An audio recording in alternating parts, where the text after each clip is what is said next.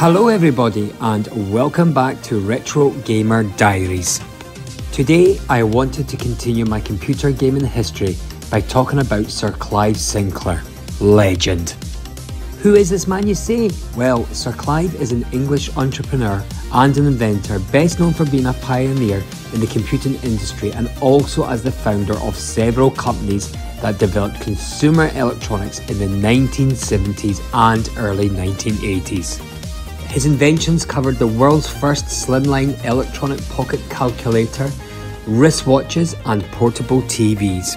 Sinclair then moved into the production of home computers in 1980, with Sinclair Research Limited producing the Sinclair ZX80, the UK's first mass market home computer for less than £100, and in the early 1980s, the ZX81, ZX Spectrum, and the Sinclair QL.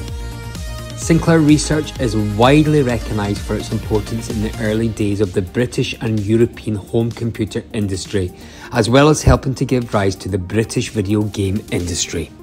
For me, he's the daddy of the ZX Sinclair Spectrum and all those brilliant games I played for days and days during the 1980s.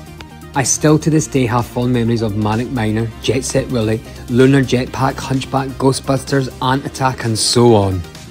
I also spent many an hour trying to program basic code from my computer magazines into those rubbery buttons. The games were pretty basic at the time, but for me, I felt that I was a computer game programmer.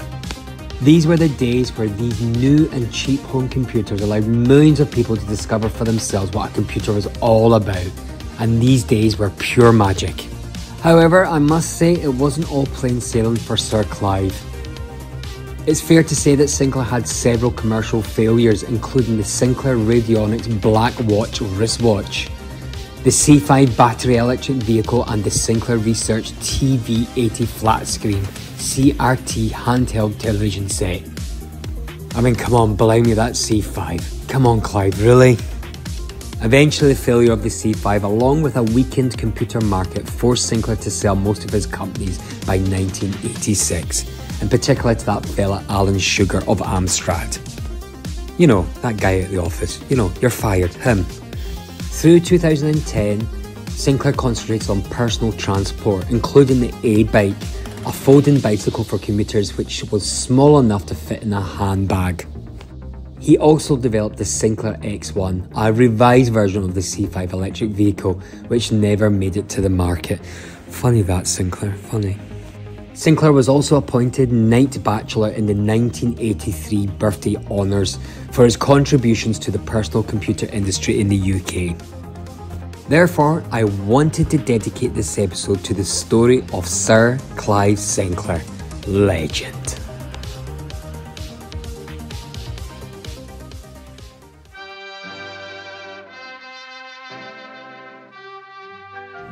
Our story starts in London during World War II. Clive Sinclair was born to George Sinclair and Thora Edith Ella Marles on the 30th of July 1940 in Ealing, Middlesex. Sinclair's father and grandfather were engineers. Both had been apprentices at the shipbuilders Vickers.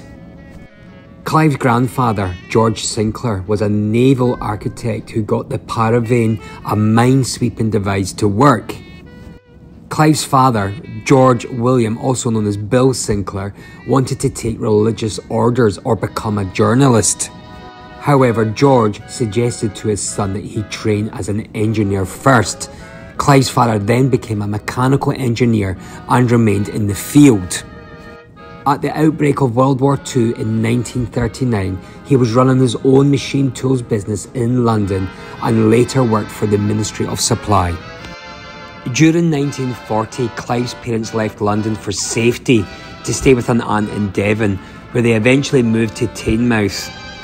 A telegram arrived shortly afterwards, bringing the news that their home in Ealing had been bombed. These were desperate times. Sinclair's father then found a house in Bracknell in Berkshire. His brother Ian was born in 1943 and his sister Fiona in 1947. Sinclair attended Boxgrove Preparatory School, excelling in mathematics. Sinclair had very little interest in sports and found himself out of place at school. And by the time he was 10, his father had financial problems. He had branched out from machine tools and planned to import miniature tractors from the United States. He had to give up the business. And because of his father's problems, Sinclair had to move school several times. After a time at Reading School, Sinclair took his O levels at Highgate School in London in 1955 and his A levels and S levels in physics, pure maths, and applied maths at St George's College, Weybridge. During his early years, Sinclair earned money mowing lawns and washing up in a cafe, earning 60, which is about 2.5p, more than the permanent staff at that time though. Later, he went for holiday jobs in electronic companies. At Solartron, he inquired about the possibility of electrically propelled personal vehicles. Sinclair applied for a holiday job at Mullard and took one of his circuit designs. He was rejected for preconsciousness. While still at school, he wrote his first article for Practical Wireless. And after he left school at the age of 18, he sold miniature electronic kits by mail order to the hobby market. Sinclair's micro kit was formalised in an exercise book dated 19th of June 1958, three weeks before his A levels. Sinclair drew a radial circuit Model Mark 1 with a components list, cost per set 911, which is about 49.5 pence, plus coloured wire and solder, nuts and bolts, plus a celluloid chassis for 9 shillings. Also in the book are the advertisement rates for Radio Constructor at the time and also Practical Wireless. Sinclair estimated producing 1,000 a month, placing orders with supplies for 10,000 of each component to be delivered. We're already starting to see the beginnings of this young British inventor. Sinclair also wrote a book for Bernard's Publishing, Practical Transistor Receivers Book 1, which appeared in January 1959. It was reprinted late that year and then a further nine times after that too. His Practical Stereo Handbook was published in June 1959 and reprinted seven times over 14 years. The last book Sinclair wrote as an employee of Bernard's was Modern Transistor Circuits for Beginners, published in May 1962. At Bernard Babani, he wrote 13 constructor books in total. Wow, genius.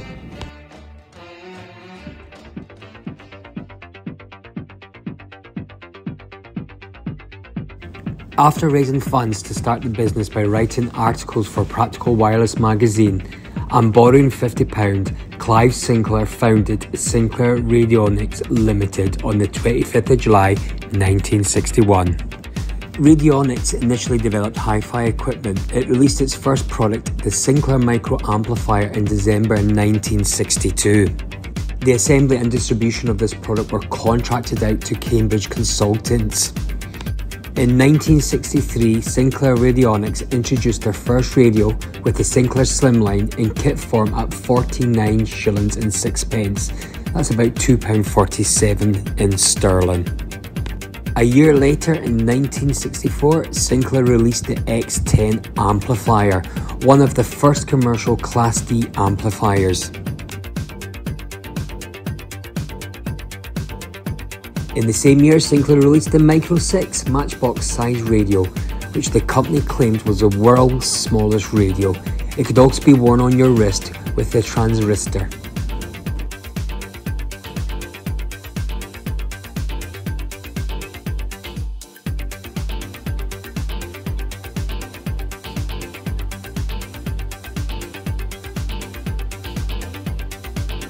In 1965, the Micro FM debuted as the world's first pocket-sized FM tuner receiver, but was unsuccessful due to the technical difficulties. Despite problems, illegal clones were produced in the Far East. Sinclair's final 1960s radio kit was the 1967 Micromatic, billed as the world's smallest radio like Sinclair's earlier radios.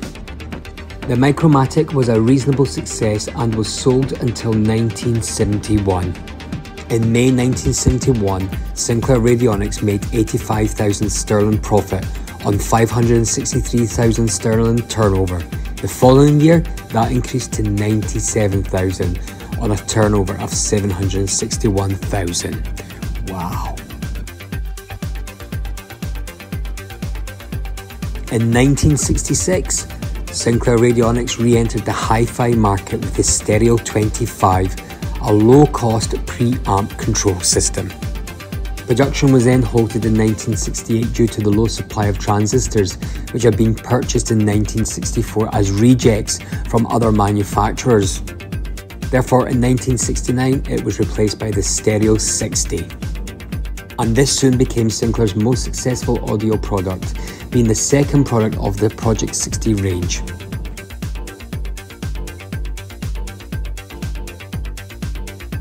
The Project 60 products sold well and were supplemented by the Project 605 kit in 1972. It was eventually superseded by the more advanced Project 80 kit in 1974.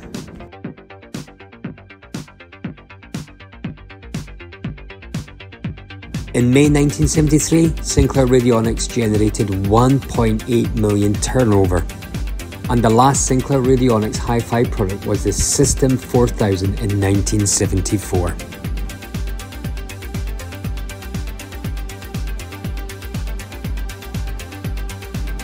During the majority of the 1970s, Sinclair focused on building the most affordable pocket calculators with the best design.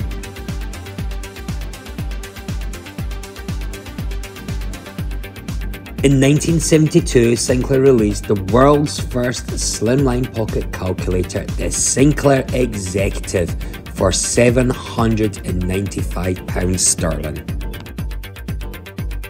The calculator only included basic maths functions and the LED display required much power. It is often credited as being the world's first attractively styled calculator that did not require mains power to be used like prior calculators. The executive was a phenomenal success, earning Sinclair 1.8 million in profit.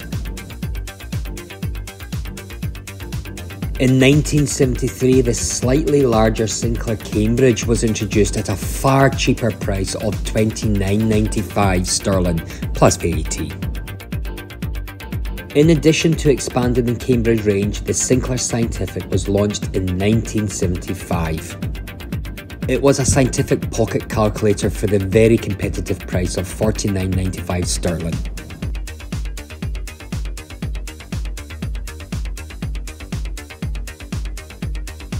In 1977, a revised model, the Scientific Programmable, was released at $29.95. Then the Scientific Programmable Mark II was released later, reducing the price to £17.22 sterling. Sinclair also attempted to capture the top end calculator market with the Sinclair Sovereign, available in plated gold or silver. The calculator was critically acclaimed for its excellent engineering and design and enjoyed short success. However, success was not always the case. Final attempts at the mass market for calculators, the Sinclair Enterprise and the President just did not sell well at all.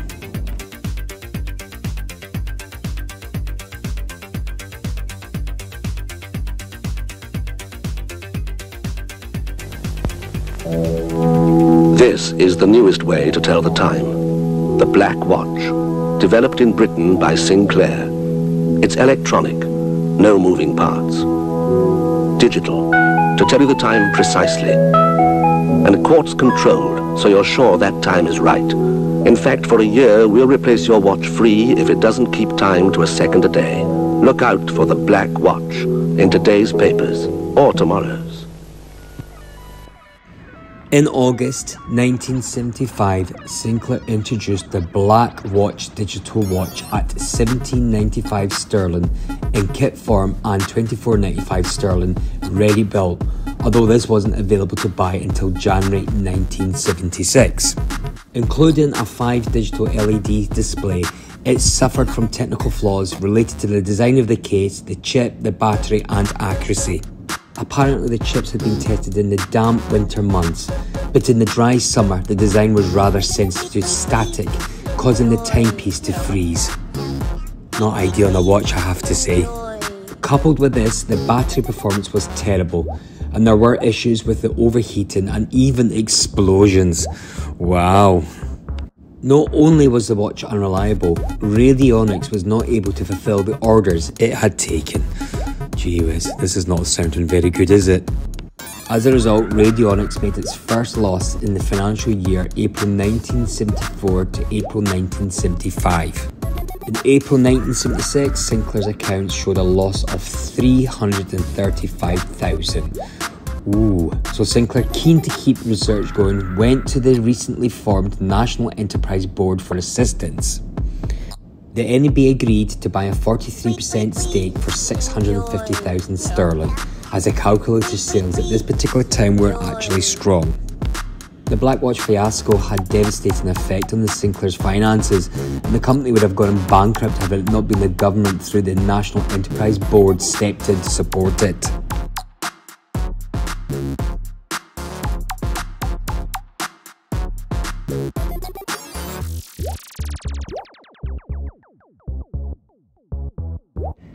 In 1966, Sinclair Radionics developed the world's first portable television, the Microvision, but never attempted to sell it because the development costs would have been too high based on the complicated design the Microvision used.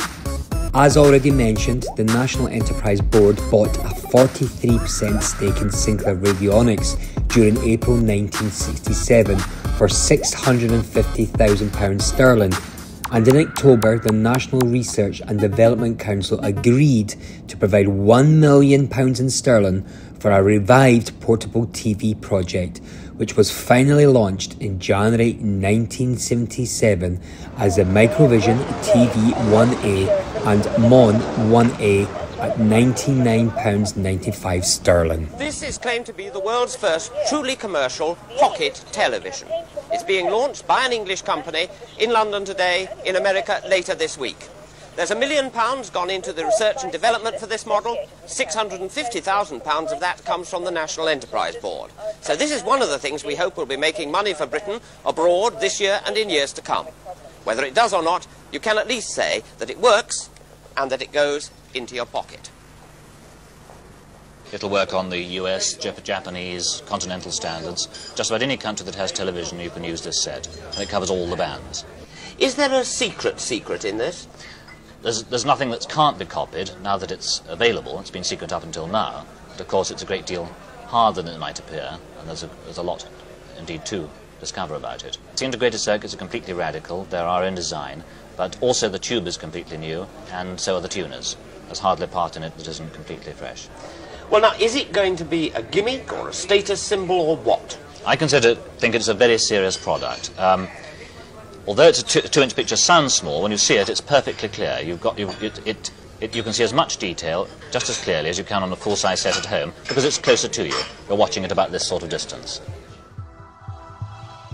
Supply exceeded demand, and 12,000 units were left unsold until they were sold off cheaply. This resulted in a £480,000 sterling loss for Sinclair.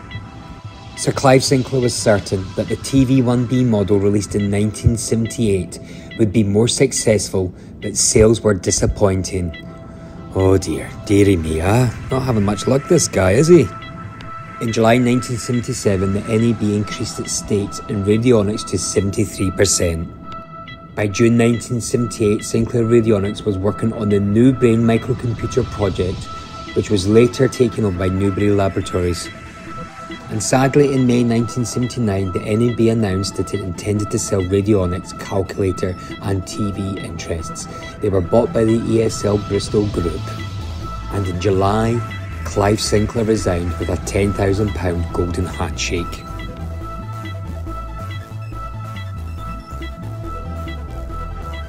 While Sinclair was dealing with the NEB and had seen problems developing, he had a former employee, Christopher Curry, establish a lifeboat company called Science of Cambridge Limited in July 1977. Called such that they were located near the University of Cambridge and planned for Curry to develop technology from ideas from that university. An early product from Science of Cambridge was a wrist calculator kit which helped to keep the company financially afloat while selling in surprisingly figures, creating a revenue of £50,000 sterling. By the time that Sinclair had left Radionics and joined Curry at Science of Cambridge, inexpensive microprocessors had started appearing on the market. Sinclair came up with the idea of selling a microprocessor teaching kit, and in June 1978, Science of Cambridge launched the MK14 kit based on the National SCMP chip in June 1978. As Sinclair began working on the MK14 successor, Curry was in discussions with Hermann Hauser and opted to leave Science of Cambridge to co found Acorn Computers with Hauser in 1978. Acorn became a direct competitor to Sinclair's products, with the Acorn System 75 as its answer to the MK14, effectively an MK14 chip with a keyboard.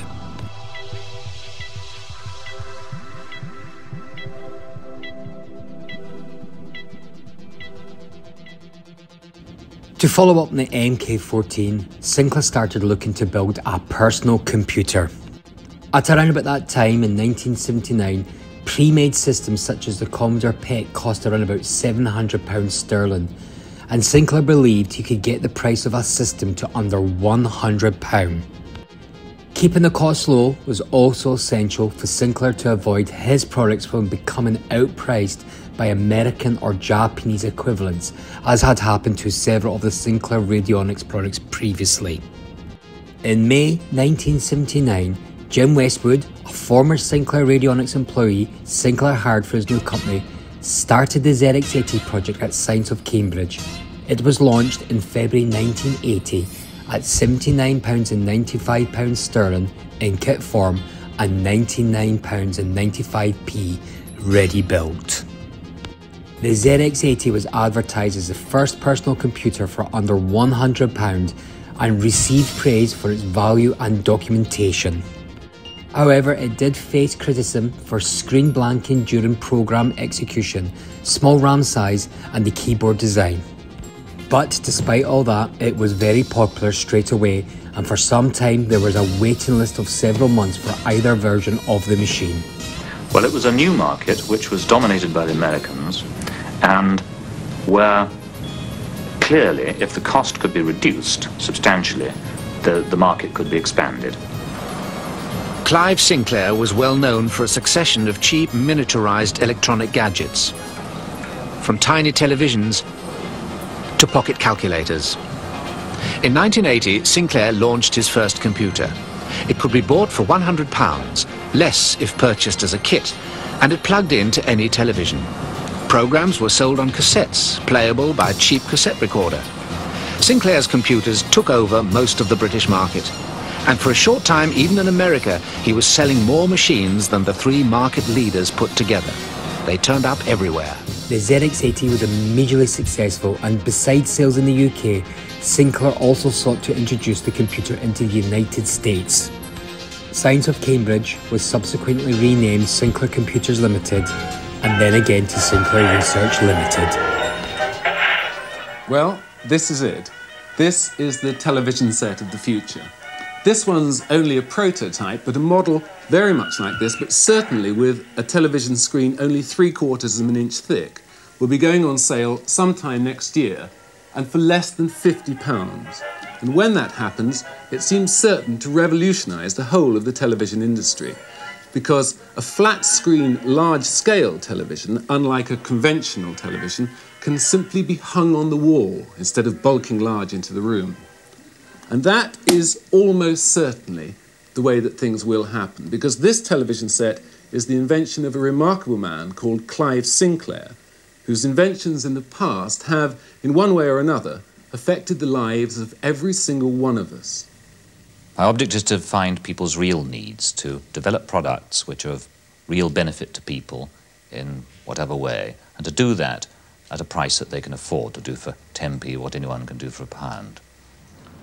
Before breakfast every day, Sinclair runs six miles from his home in Cambridge, showing the kind of single mindedness and stamina which has also allowed him to keep ahead in the consumer electronics field. His list of firsts is staggering, beginning with the first pocket calculator. He followed this with a breakthrough in cheap digital watches, the Black Watch.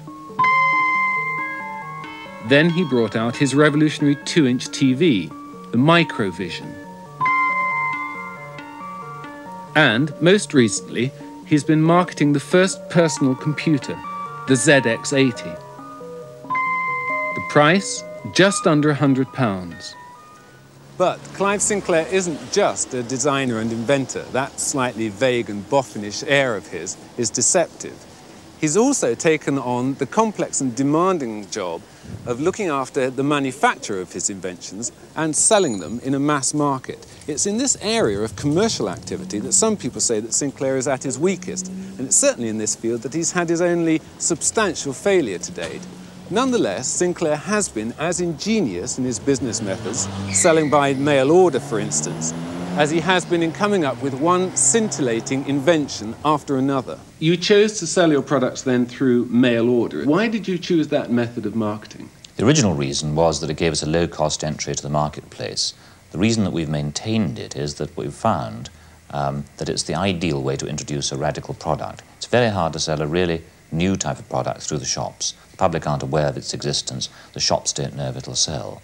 So if you start off with mail order, it both informs the public of its existence, gets you some early orders, and the shops can learn that the product does have a market. But aren't there limitations to that approach? It's not one that we found to fail in, in any case to date. Um, clearly, if the product were too expensive or perhaps too cheap, it, this, this approach wouldn't work.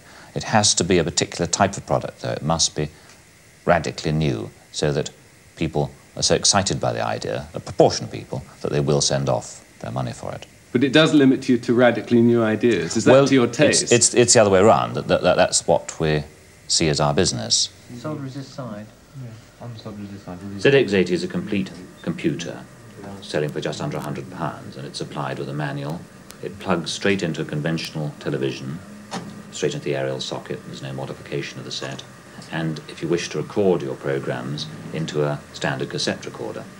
And the great thing about the ZX80 is that although there were computers before that were available to individuals to buy, they cost several hundreds of pounds. We've brought it down to under a hundred pounds without any sacrifice. You can learn to program on it and subsequently use it perhaps in your job or at work. Is the cheapness of the thing the particular advantage of it in your The big breakthrough that we've made is to get the cost right down. Um, it is a true and complete computer, and generally speaking, one computer can do much what another one can do. Obviously, is, is it as efficient as the others on the market? Oh yes, very much so. And indeed, in terms of speed, which is the only real measure of comparison that's normally made, it's actually faster than, than any of the other personal computers. Now, you've been selling it for just over a year now. How's it going? Well, extremely well. It's now the world's best-selling computer, which in, in just under a year we think a very exciting achievement. And we're selling over 10,000 a month, most, of course, to export. We sell 4,000 in England a month at the moment, and the rest abroad.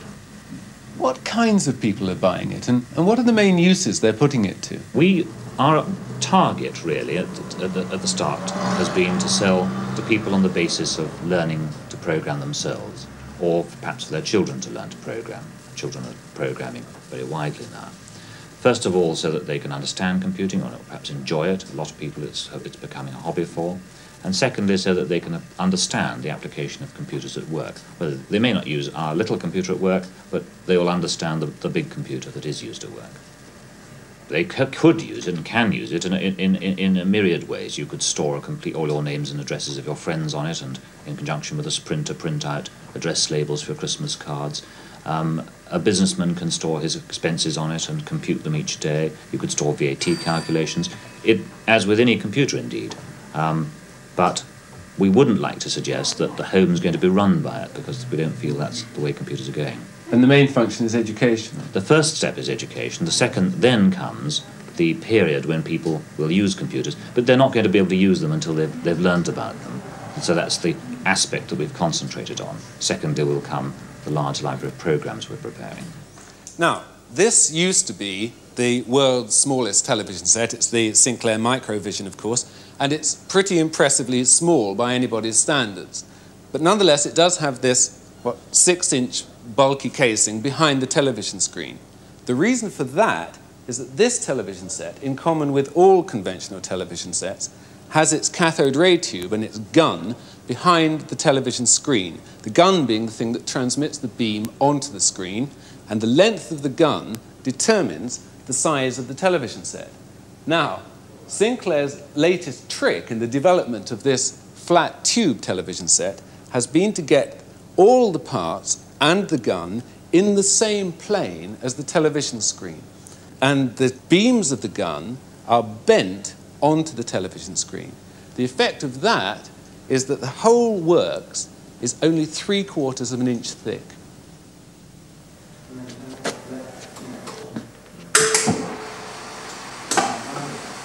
At present, Sinclair has got just a pilot production line underway next door to his old premises at the mill.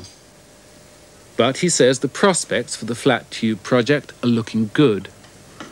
We've managed to make the tube very cheap to produce because it uses only two pieces of glass, one of which is vacuum formed, another one which is flat.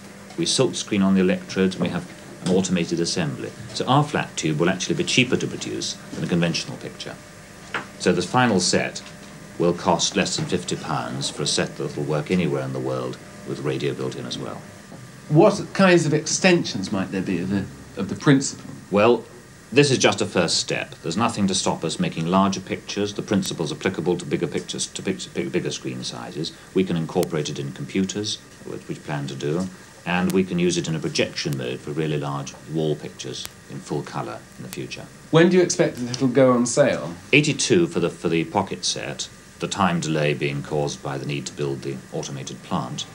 And then we couldn't say when we'll have a large colour set, but it'll be some years after that. And will this be available by direct sales again? How we'll launch it, I don't know, but it, will it, even if it's initially by direct sale, it'll certainly be in the shops soon afterwards. There's something I want to put to you that's been said to me by people in the city. They've said that you'd be better off if somebody put you in a back room and locked you in and you got on with your inventions and somebody else looked after the business end of things? Well, if that happened, the products would never get onto the market because nobody has ever come to me and said, That's a fantastic new product, I shall now go and market it for you. And the thing is that the computer side, not, not, the computer business, for example, is extremely profitable. We, we had 13 years of unbroken profitability at Radionics, and we're a highly profitable business now. So we do know how to make money as well as the products.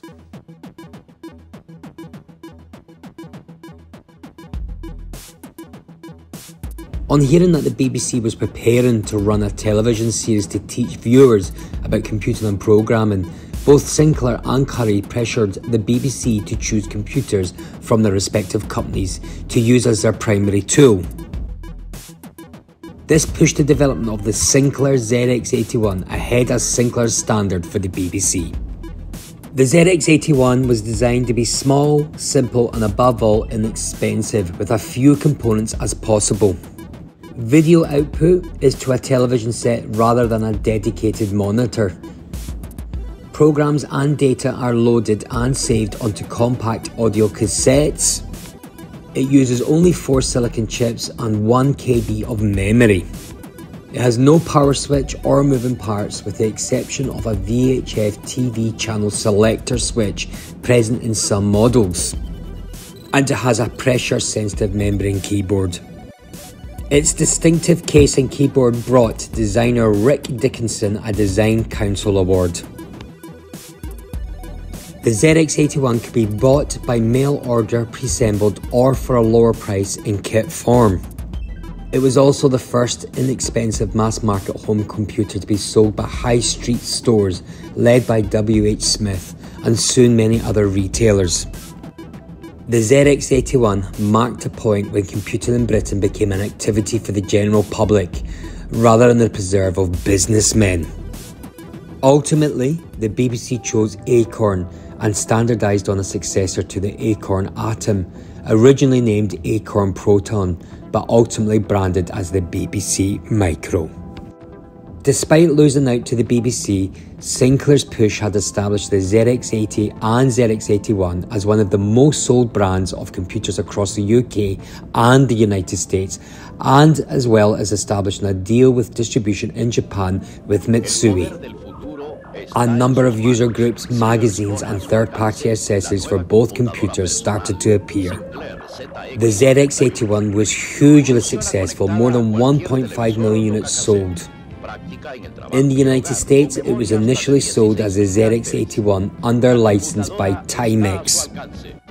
Timex later produced its own versions of the ZX81, the Timex Sinclair 1000 and the Timex Sinclair 1500. Timex brings the power of the computer within reach of more people than ever before. Introducing the Timex Sinclair 1000, the first of a new generation of computers designed to be easier to use and to own for $99.95. Power to learn at the speed of light. Power to organize with unfailing accuracy. The Timex Sinclair 1000. Power is within your reach. Spent a fortune on a computer. Know what I found out? I hate computing. Computing? I love it. I hate it. It's terrific. Oh, She loves it. Computing? Hmm. Why spend a fortune to find out how you feel about computing when you can do it on a Timex Sinclair 1000 for $49.95? Who knows, you might love computing, or maybe not. The Timex Sinclair 1000. I thought I'd hate it, but... Ta-da!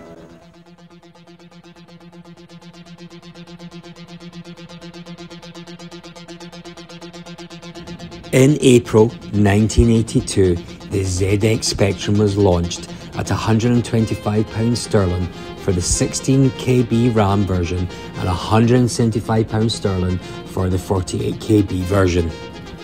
It was the first computer in the ZX line to support colour output. The ZX Spectrum remained more affordable than other computers on the market, including the BBC Micro, the Commodore VIC-20, or Apple II, and during a time of recession and high employment in the UK, was positioned by Sinclair as a low-cost home computer for productivity applications. In recession, British computing was a miraculous exception. A manufacturing industry that wasn't sacking everyone. If it's got a keyboard, a manual, and computer written on it, it'll sell. That's the word around the exploding market for personal or home computers that simply plug into a television set. We're the world's largest producer of computers. We make more than the whole nation of Japan put together. Technological innovation had met 80s entrepreneurialism. The perfect mix for a leader who was a science graduate as well as a free market evangelist. Prime Minister, this is a small home computer. It also proved to be a popular gift for teenagers and young adults that year. This led to a number of these young people learning to program on the ZX Spectrum, using its newfound colour support to make quirky video games inspired by British humour, which they sold through word of mouth and mail order. So called bedroom coders using the ZX Spectrum gave rise to the start of the UK's video game industry. Three Northumberland schoolboys. They have turned their classroom computer lessons into money spinning bestsellers. Um, that's basically because. David Edwards receives his first big check. All part of the huge rewards open to the computer whiz kids. More than a million British homes now have a microcomputer. Yes. The British firm of Sinclair made the breakthrough, and the British now have more home computers than anywhere else in the world. Most of the users are youngsters, taking to the computer as naturally as adults now use the telephone. What? Sales of microcomputers will double this year. And just as important, the youngsters will buy millions of pounds worth of software as well. Software is another word for the programs or series of instructions which make the computer work. Now, with me is Shelton Frey, who's just turned 11, I think, Shelton. Could you do something for me on the computer? Let's say make it draw a red square. Yes, I can. And giving the computer, what, half a dozen instructions, and up mm. comes the red square. But to write a whole computer game would need hundreds of such instructions, all painstakingly typed in one by one. And it's for that reason that most people who don't have the time or the skill prefer to buy ready-made programs, which take the form of audio cassettes, which are loaded into cassette players and then played to the computer. Shelton, would you be able, for example, to program me into the computer? Yes, yes. As a think you- little man, as a little man. You could do that. Yes. Computer software today is for intellectually talented young people what the rock business was a few years ago. And yes, there'll always be the publisher, the producer, and the distributor who will seek to make money out of the business, but the talent can also get fabulously rich, even though they're young. The path to riches can start wherever youngsters have access to a computer, and that's often in the classroom. In Northumberland at the Prudhoe County High School, three sixth formers head a computer revolution which has swept the school. They do this at lunch times, after school, even before school in fact. We find that the computers are running you know, from early morning until late evening and uh, they're doing all sorts of work related to computers. And the three boys are part of that sort of setup within the school situation. Jeffrey, Stephen and David write computer games and market them under their own JSD software label. You see, that's, that's where the fog's being printed on. Oh, yeah. So colour 129? Yeah. So we should, yeah, let's try putting a colour 129 in there. See what effect it has. Yeah. So that was obviously set back. To get it right requires a prodigious attention to detail. Yeah, we'll check that later. I think the problem was we forgot the semicolon off. So it was scrolling up as it was progressing. So I'll try taking that off and see what... But the results are worth it. A game which the boys claim is better than those previously available, and a product for which local shops have already paid them. We've had the Orkin for about two weeks now. Um, it's selling pretty well. The best thing about it is its graphics, its sound and its colour. Unfortunately, there's no software out at the moment for it. Well, that's, that's the main reason why we're buying this Arc because since it's... Their first task is to get to know everything about how the new home computer works. Now they'll spend as much time as they can spare from their A-levels writing the programs which they hope the users will buy. It's so that we get into the software market first. Since it's a brand new computer, there's no software around. And since we're into writing software programs, then we should be able to uh, get there first, write the programs. How seriously do you take it? Is it just a hobby, or do you really expect to make some real money? Well, um, we feel that with some more retail outlets, it could really take off now. Um, we'll have to put it on ice somewhat through university, but we intend to carry it on in a small way until after university. And after that, the sky's the limit. By 1984, over 3,500 games had been released for the ZX Spectrum. Well, today we'll be doing a special Superstore software checkout to put the so-called top 10 games to the test. Well, where better to come to do it than the centre of London's hi-fi and electronic shops, Tottenham Court Road. But now, a bit of a confession to make. As yet, I know very little about computer games, so I need three ready and able and willing volunteers. Here they are. Dominic, Duncan, Cassie. Well, Dominic, Duncan and Cassie, let's get inside and get the coordinates for the computers, okay?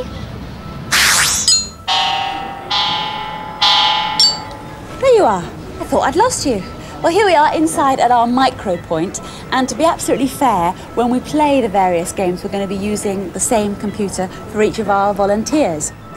And then when we've played each game, we're going to give each game marks out of 10 in various categories like playability, how much fun the game is, whether it's good value for money, the length of time it takes to set the game up, and so on. And the first game we're going to play is Manic Miner. You remember that was number one on our chart. Manic Miner is all about a little miner who stumbles down a forgotten old mine, and in order to get to all the goodies at the bottom, he has to pick up various golden keys on the way. Uh, Duncan, what do you think of Manic Miner? I think it's good, but it makes too much noise and the colours are too bright. What about the, the game itself, though? Well, Did you find it too difficult? Well, I can only do one sheet. It could be a little shorter, but other than that, it's really good. What about you, Dominic? I, I think it's got very good graphics, especially because it's got 20, 20 sheets. Each one has got a different different picture and um, it's got different movements to everything you press, so it's an extremely complicated program and it's good, good fun. Okay, Cassie, now what do you think of it so far? I found it a bit difficult, really. What did you think of the uh, graphics? I thought they were quite interesting, but I didn't like the colours much. What about the noise? Oh no, I wouldn't be able to stand the noise for much longer than about 10 minutes. Were some very good reactions from our volunteers for game number one, Manic Miner. Now move on to our second game, also number two in the charts. That's Attic Attack or Attic Attack. I think it's Attic Attack. And the idea is that you play the part of a character like a serf or a knight, and you have to get out of the evil haunted castle as quickly as you can, getting past all the various obstacles in your way. I thought it was really interesting. I liked all the colours and the graphics and everything. It's best of the two we've done so far. The game's really good. It doesn't get too long. The best bits I like uh, is when Frankenstein and Dracula and come and drain your blood, and and the turkey runs out, so and you die. It's really good. That's really good. Yeah, you die. Well, you can get killed about three times, I think, and there's loads of different rooms. If you found new rooms all the time, it could last forever. Perish the thought he'd be at it in years to come. well, an even better reaction for Attic Attack, our second game and number two in the charts. Well, now we move on to an attack of another sort for our third game, and this time it's Ant Attack. And this should be very interesting because its graphic is uh, three-dimensional, and you have to choose whether you're going to rescue a girl or a boy, and you have to get them out of the walled city of Antescher as quickly as you can, not being attacked by the ants. How do you think that uh, Ant Attack compares with Attic Attack? I didn't think it was as good actually. It completely confused me. I didn't know what I was doing. Couldn't control it very well. It is hard to control, and it isn't as good as Attic Attack, but it is quite good, and the graphics are good because they're 3D. Well, I prefer a bit of colour anyway, so I thought it was a bit boring. I thought it was a bit better than the Attic Attack because um, it moved moved things around. That's where Attic Attack it only moves the keys around. It told you what to do and said, "You're silly, you blew yourself up and things." yeah. It said, "It have another go," and I said, "Oh, thanks." As well as looking at the top three computer games, we thought it would be only fair to have a look at one of the brand new releases. And the game we've got set up at the moment is called Bear Bovver, and a very rough explanation of what the game entails is that the little bear has just bought a brand new motor car and he has to get the batteries on which it runs out of the house by climbing up and down the ladders. But on the way, he can be a bit bothered. It's a bit boring. They could make it not so large. It's got too many levels. There was three sort of lines where there could be two instead. The graphics were nice and bright, but yeah, it was too large, I thought. There were lots of things chasing you, and the only thing you had to do was push down down things, and the way you kept on getting killed, it was too it was too hard. You couldn't couldn't get a hang of it or anything because there's so many things coming after you. There's four things. There's, there's three bears and there's one dragon, and and you're just one person. They go all over the place. You're absolutely bothered. How long do you think you could actually spend sitting in front of a computer game trying to master it? D- depends which game it was. With that game, I don't think I think I'd get bored with it. How about value for money? Would you spend your pocket money? No, I'd buy better games. Right, we've had your comments. Very briefly, I'd like to know which game you like best. Cassie? Attic Attack. Dominic? Um, Ant Attack. Attic Attack. Attic Attack. Right now, I've got all the marks down here which you've secretly given me. Before we report back to Superstore for our accurate computer checkout, would you like to add them up on the computer for me? Thanks, Dominic. And Dominic got busy with the adding up and he's brought the checkout scoreboard back to uh, Superstore with him and we can have a look at uh, our compilation of all the marks now. Well, there's no surprise that at the bottom of the checkout chart, are you all right with that, Dominic? Can you hold that up a bit, darling? That's it. Uh, we have Bear Bovver, and that's got low marks in uh, every category and was the only game that the players didn't want to buy. Now, all the games cost around £6.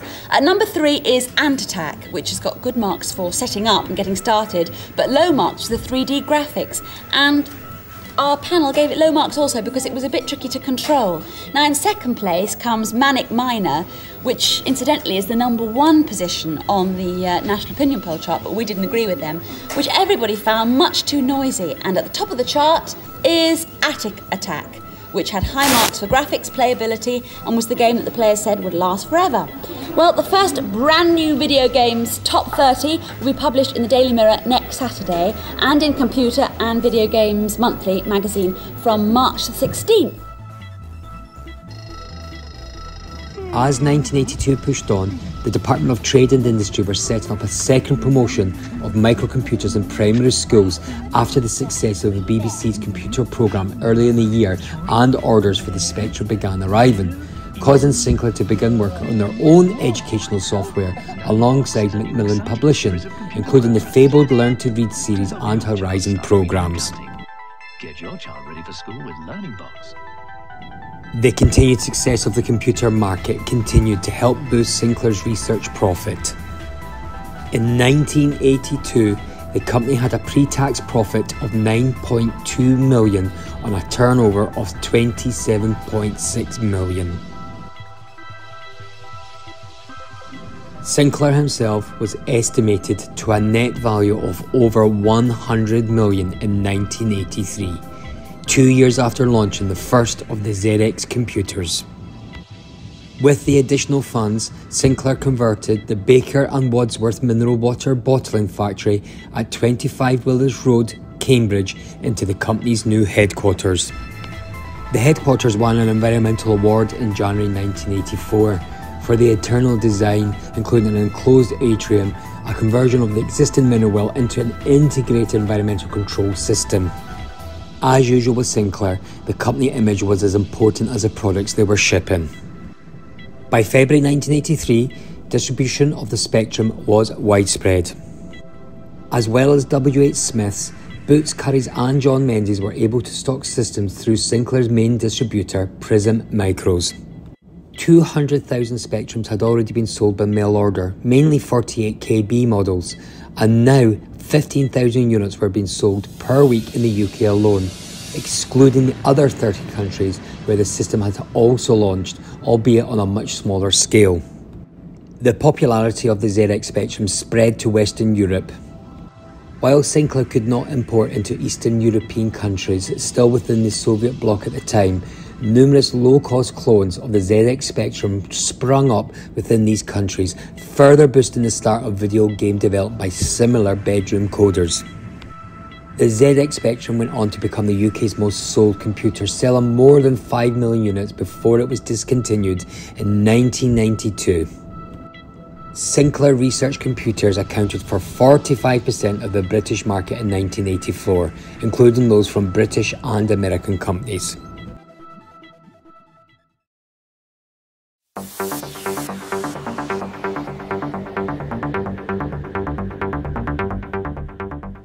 The TV80 pocket television was then launched in September 1983. It used a flattened CRT unlike Sinclair's previous portable televisions. On Earth, the first pocket television you really can fit in a pocket was unveiled today. It's British, and on price and technology, it looks set to beat the Japanese at their own game. It should also bring some jobs to Timex in Dundee, where the tubes will be made. Sinclair's Pocket TV is so cheap, just under £80, because it's the first in the world with all its electronics on one microchip. For Clive Sinclair, today's launch is a climax to six years of research costing £4 million. It's very much the smallest and lightest, but it also has the brightest picture, and we believe the best picture in the business. It's the very first set to just have two controls. It just has a single tuning control and single on-off volume control. In a conventional TV, the beam is fired through the tube at a phosphor behind the screen. That's how the picture is created. In Sinclair's Mini TV, the tube is bent through a right angle to save space. That's why it's so small. Sinclair's main rival is the Sony Watchman, but that's three times more expensive. The inside of the Sony shows why, a mass of complicated electronics.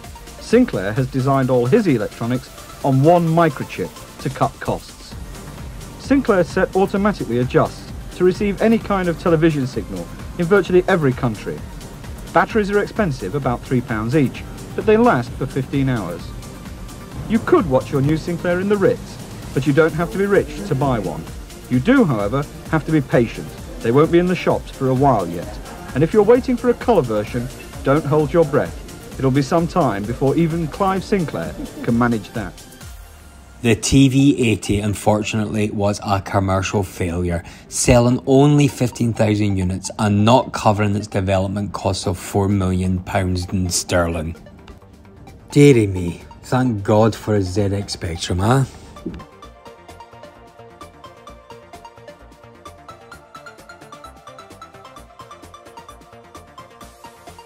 The ZX Spectrum successor, the Sinclair QL for Quantum Leap, was officially announced on the 12th of January 1984, shortly before the Apple Macintosh went on sale.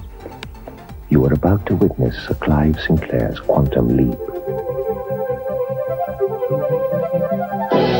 He's come up with a computer to rival these machines at a fraction of their cost. The Sinclair QL system with a massive 128K memory, color monitor, and four professional software packages, £698.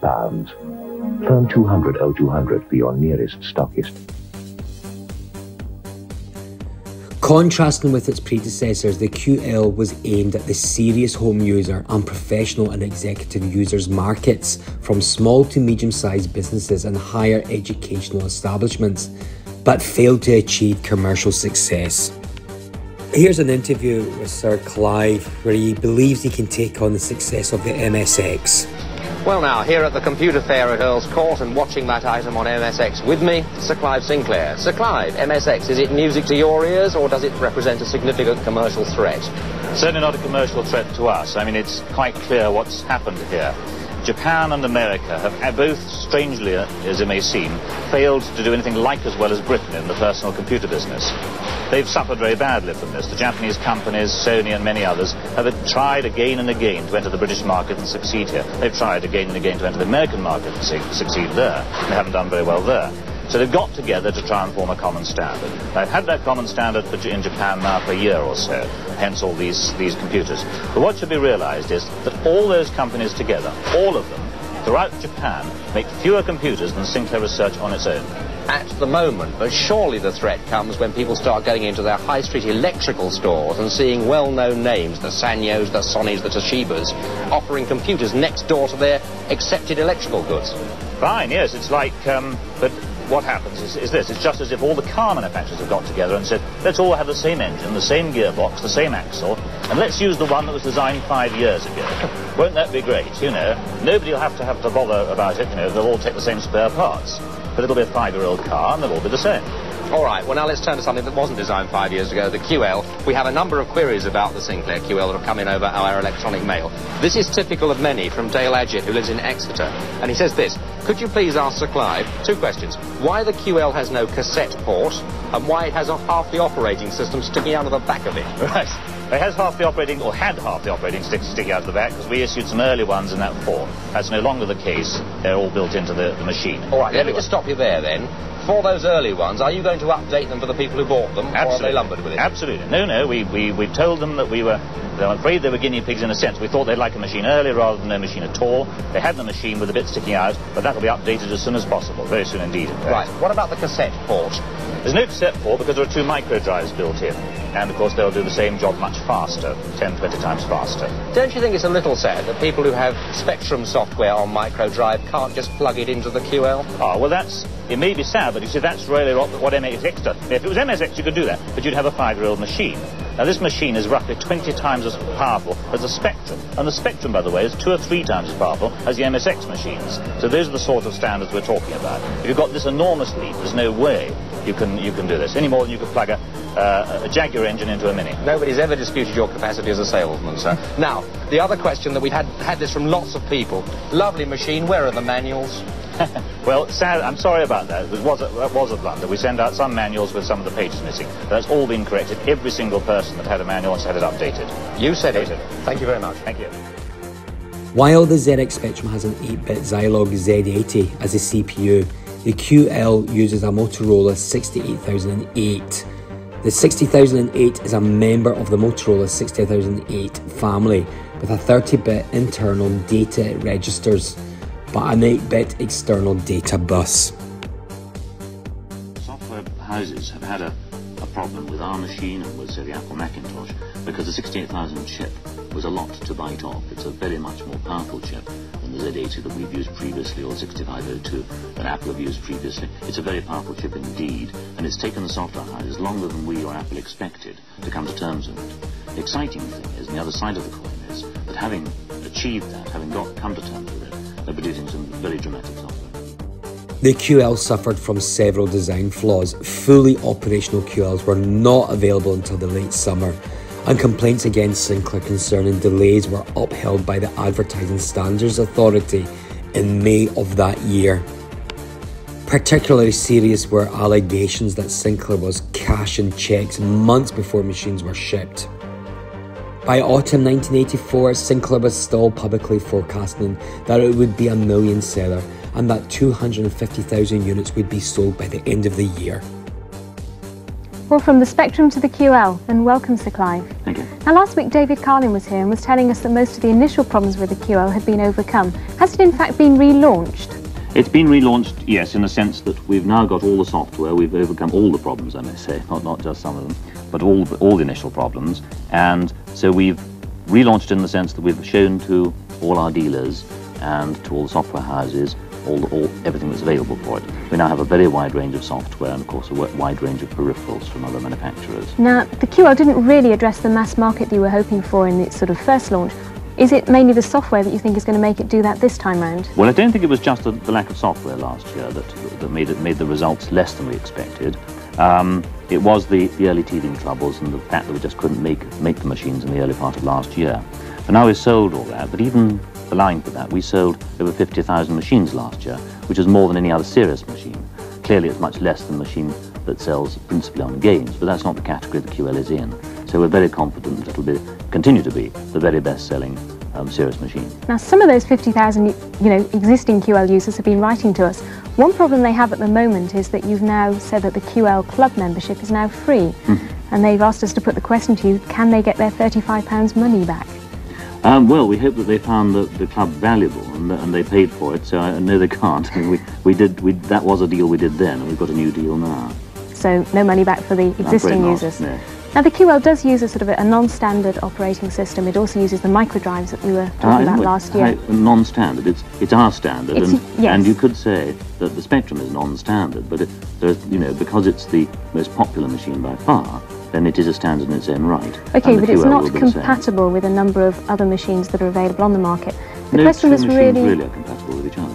right, but the question was really is, do you think that that has addressed a problem that the software houses have had in terms of getting the software ready? No, not at all. The software houses have had a, a problem with our machine and with, say, the Apple Macintosh because the 68000 chip was a lot to bite off. It's a very much more powerful chip than the Z80 that we've used previously or the 6502 that Apple have used previously. It's a very powerful chip indeed, and it's taken the software houses longer than we or Apple expected to come to terms with it.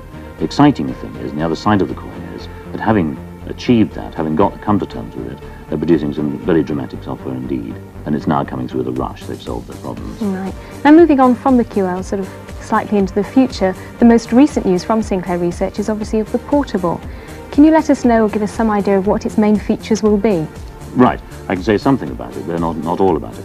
It's a, the first portable machine from Sinclair will be out next year sometime, we haven't got an exact date. And the first machine will be Spectrum based. The reason for it being Spectrum based is there's so much software out there already for the Spectrum and such a large user base. Mean, there are millions of people literally that have Spectrums who we believe will be potential customers for the portable. But the portable isn't, isn't just a Spectrum repackaged. It's a completely new machine which is Spectrum compatible. And my feeling about portables is that eventually all machines will be portable. That what holds that back at the moment is that the, today's portables are a severe compromise in at least two ways.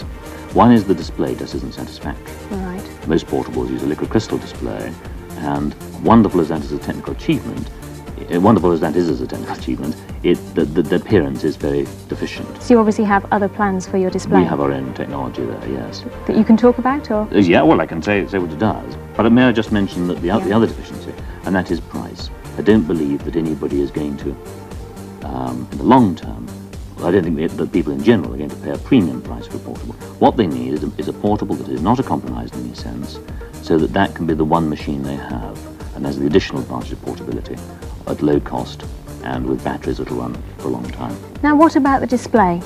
Well, our objective is to provide in a portable the same quality and appearance of display that you get in a monitor today, so that there's no compromise. And what technology are you going to use to well, do that's our own in-house technology, and we can't reveal how we do it. So wait and watch this space it. Okay, now at the same time you announced news of wafer scale integration. Can you give us some idea of what that is exactly? Wafer scale integration is making your memory all in one wafer, as is normally done, but instead of chopping it up and putting all the chips in different packages and throwing away the good ones and putting the bad ones, putting the good ones onto a board, or a laborious process, keeping them all on the wafer. Now, wafers have imperfections, so you need some special technology to do that, and we have a, a world lead in this. We're the first people, we believe, who've cracked all the problems. And we will be bringing out our first wafer product later this year, which will be a plug-in um, Winchester equivalent, if you like, for the QL. So it'll be a, a small package that plugs into the end of the QL, does the same job as a, as a Winchester. It is very much more compact, very much lower power consumption, just runs off the QL power, and of course much more reliable, it's got no moving parts. So you're getting completely away from the idea of, I mean, last week we were looking at micro drives and floppy disk drives as an alternative. You're going sort of two steps further That's right. into the wafer scale. Yes. We knew, of course, right at the start that one day the wafer scale would be there, and so we foresee the package being, you know, micro drives for your program loading, and then the wafer scale giving all the, you know, the best, the highest speed in a, any drive of any sort, anywhere. Now the wafers would also seem to be an ideal thing to put into the portable. Yes, that's so right. you have plans along that yes, side the, as well. the, the portable won't come out with a wafer drive in it, but we are planning a, a, a, a sort of upmarket portable, high-performance portable, later on, which would have a wafer drive built in. Okay, now these are wonderful plans, but at the same time you must realise that I think the Financial Times said you needed 50 million pounds to get both these projects off the ground. No, no, no, no. The 50 million pounds is just for a new company entirely, which would make the wafers for the future. Not the first generation of wafers, that's already underway. This is a, for a completely new company, But at um, the separate same- business indeed, to build an actual massive factory to make wafers. Right, but at the same time Guy Cooney is telling us sort of week after week on the news item that the city is, is really panicking about sort of investing in the high technology industries. What makes you think you'll be able to raise the money where other people have failed? Well, two things, um, our record and the record of the people that will be involved in the project. Finally, Sir Clive, um, you're seen within the UK computer industry as an entrepreneur and sort of a hero, if you like. At the very beginning of the programme and the series, Guy Cooney asked for some ideas on the ultimate and perfect micro. Can we let the viewers have some idea of what uh, your idea of the ultimate micro would be? It'll be in the house, and you'll be able to talk to it, and it'll talk back to you. You'll sit down in front, and it'll recognise you and wish you good morning and mean it, and understand everything you say. And you'll be able to ask it about your health and any problems you have. Well, we look forward to seeing that either from yourselves or from somebody else. Sir Clive, thank you very much. thank you. Well, I've no idea whether today is a typical day in the life of Sir Clive Sinclair, but he is a bit of a mega star of the micro, so it's perhaps not very surprising that Micromega have produced this little game for the Spectrum, based on a hypothetical day in the life of Sir Clive, in which he gets up to all the things you'd expect him to do going to the bank to deposit large sums of money, going to the palace to get knighted, and rushing around London in his C5, although I've always rather thought that he was more of an Aston Martin or a Porsche man myself. Well, that's their idea anyway. Unfortunately, the QL production was suspended in February 1985 and the price was halved by the end of the year. It ultimately flopped with only 139,454 units being manufactured. From next week, the Sinclair QL, now priced at just under £400, is to be reduced by 50%. And although Sinclair originally promoted this machine as being capable of more serious applications, it failed to make any inroads into the business computer market.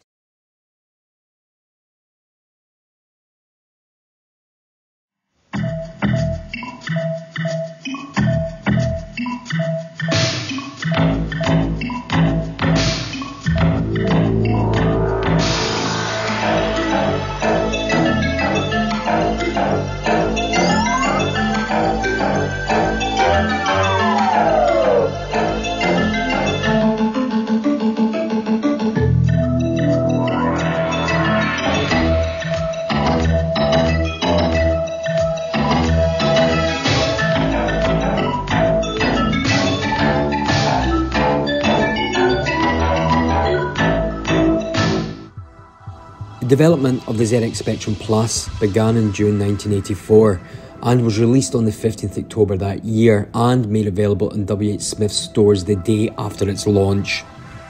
The 48K Spectrum introduced a new QL style case with an injection molded keyboard and a reset button. Electronically, it was identical to the previous 48K model. It was also possible to swap the system's boards between the original case and the Spectrum Plus case. It retailed for £179 sterling. There was also a DIY conversion kit for the older machines. Initially, the machine done quite well. It did actually outsold the rubber key model by 2 to 1. However, some retailers reported a failure rate of up to 30% compared with a more typical 5 to 6% for the older model. In early 1983, the original Spectrum was officially discontinued and the ZX Spectrum Plus was reduced in price to £129 sterling. Retailers stocked the device in high quantities, anticipating robust Christmas sales. And nevertheless, the product did not perform as well projected, leading to a significant drop in Sinclair's income from orders in January as retailers were left with surplus stock.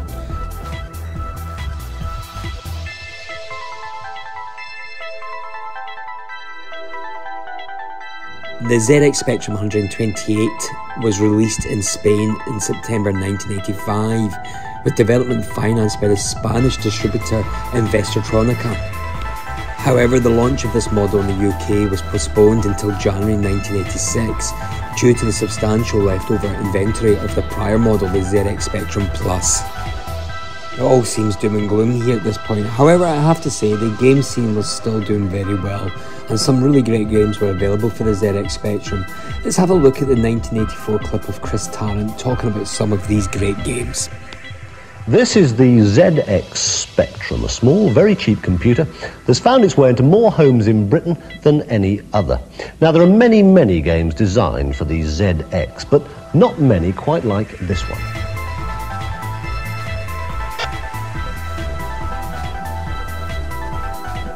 Ever since some real-life insects sabotaged an early computer, the word bug has been used to mean a problem in a program. This wickedly clever little game shows what bugs are all about. The sentences you see are the lines of a real computer program. Each flashing letter marks a gap in the program. Micromouse is out to plug those gaps. Bug monsters try and walk all over him, and frequently succeed. There's just one letter left to fit in. Go on, pal. Go for it. Go on, pal. Once the letter's in, the program's complete, and it tells the computer to do something spectacular. This ingenious and educational game is called Micromouse Goes Debugging. It's from MC Lothlorien and runs on the ZX Spectrum.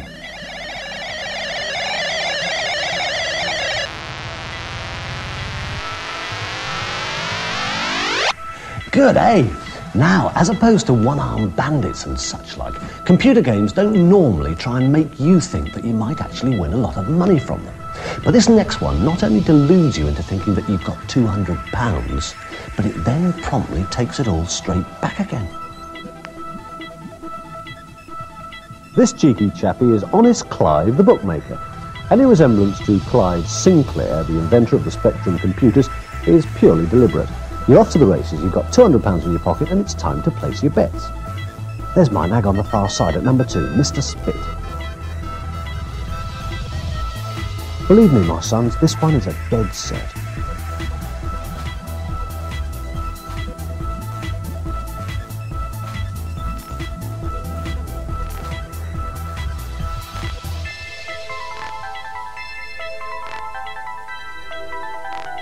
Grand National is an unusual and exciting game from computer rentals. Up to five players can play, and you can make the odds on the horses longer, shorter, or make them up. It runs on the ZX Spectrum. Come on, Mr. Spit, go on, look at him go. He's catching the lead. Come on, Mr. Spit, come on, come on.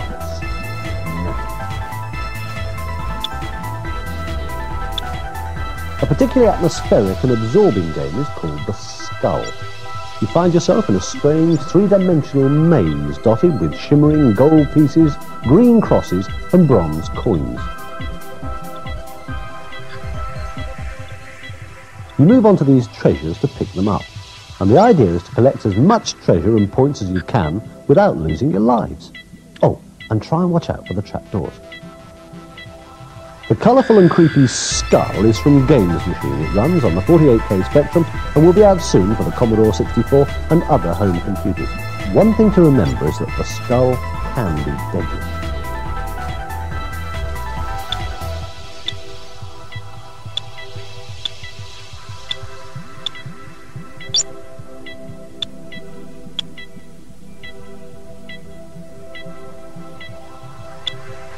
Very hard to put your finger on computer games. They're a bit like films, they're usually fun to watch. They're a bit like books, there's usually some sort of plot to unravel. They owe a lot to board games, but they owe a lot more to fairgrounds, mazes and age-old puzzles. They're something new and they're extremely hard to classify. I mean, what on earth would you call anything as completely balmy as this? This is the amazing Manic Miner on a seemingly impossible quest. The miner has to dodge and outwit all kinds of loony nasties, such as poisonous pansies, those rabid toilet pans, and of course the mutant telephones. Mutant telephones? Well, Manic Miner is a gamer's game full of weird in-jokes. It's also a sequence of brain-teasing tests, each an ace computer game in its own right. And every now and then you get a terrible sinking feeling as the floor crumbles beneath you.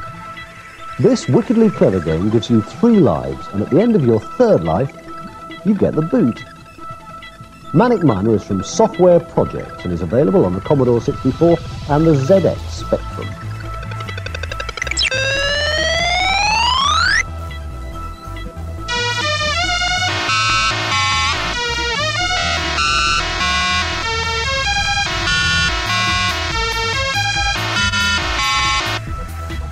But a game doesn't have to be so complicated. Rommel's Revenge simply transforms you from a seven-stone weakling sitting in your armchair into a seven-stone weakling driving a tank. The more tanks you blow up, the more points you get. That round thing up there is your radar screen. And if you see any dots, then enemy tanks are near. These three-dimensional effects are one of the most distinctive features of Rommel's Revenge, which is from Crystal Computing for the ZX Spectrum you get the sense of moving up to distant objects. And bits of odd-looking scenery are useful cover for an ambush.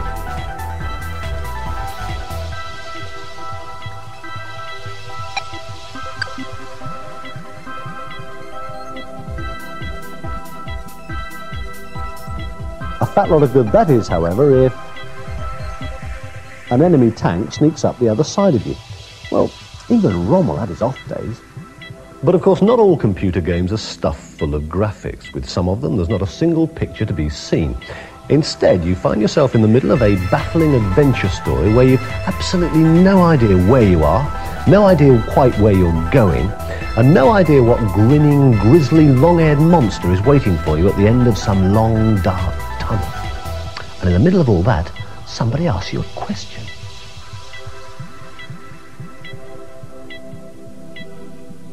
Hmm, yes, I do want that silver knife because I've got a funny feeling that something nasty is on its way.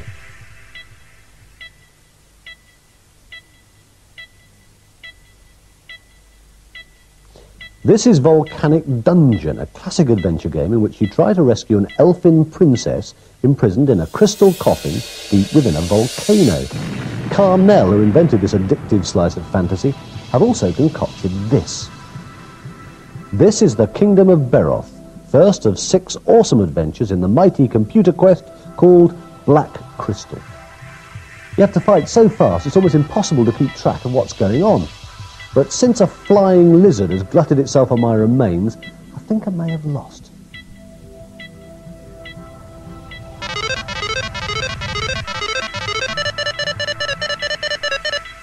And if you do finally master the amazing difficulties of playing that game, you go into a new adventure in a creepy place called the Castle of Shadows.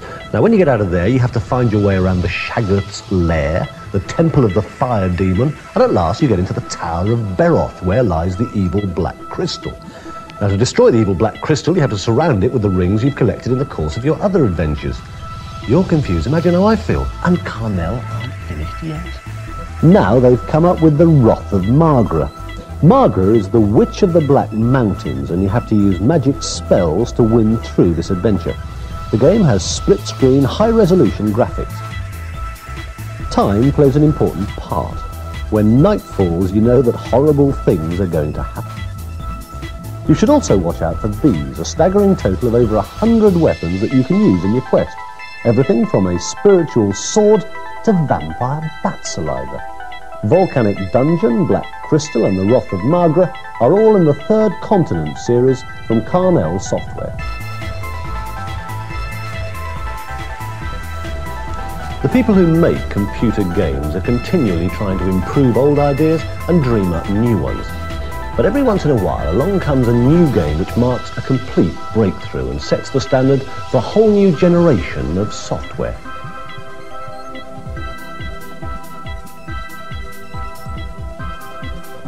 Valhalla is the latest such game. It's based loosely on old Viking tales with a cast of gods, giants, dragons, and a funny-looking black raven. The really special thing about Valhalla is that the story unfolds whether you do anything or not like an epic film which you can step into and become part of. Hmm. At the moment in this epic film I appear to be getting killed by a god called Boldir. There are six adventures you can embark on, each one a quest for a special object hidden in the game world.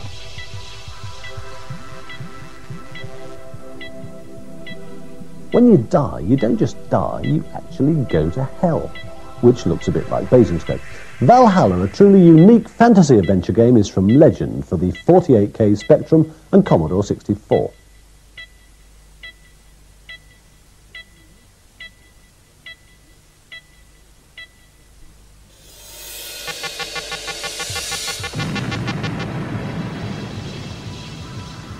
This is Caesar the Cat, a game so brilliantly animated that it's fun to watch, let alone play. Here it's running in a new version for the ZX Spectrum. Originally, Caesar was available only on the Commodore 64. Let's have a look at that earlier version. Same cat, same idea, but different computer. Caesar is a moggy in a well-stocked larder who tries to keep a band of hungry mice from the food. But if you're not careful, Caesar only succeeds in making a hole in the best family crockery. You lose points every time he knocks over a dish, but you gain points every time he catches a mouse.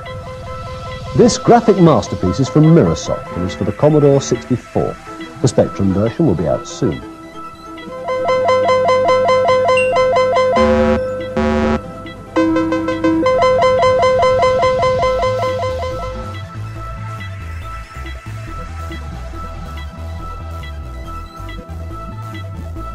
At the January 1985 Las Vegas Consumer Electronics Show, Sinclair re-entered the United States market, announcing the FM wristwatch radio, an LCD wristwatch with a radio attached.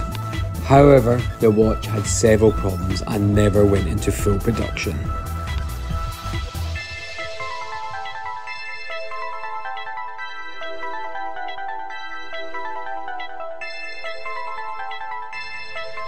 Imagine a vehicle that can drive you five miles for a penny. A vehicle that needs no petrol, just a battery. And that takes the press of a button to start, the squeeze of a lever to stop. That needs no license, no road tax, and you can drive whether you're 14 or 40. A vehicle that costs just 399 pounds. The Sinclair C5. It's a new power in personal transport.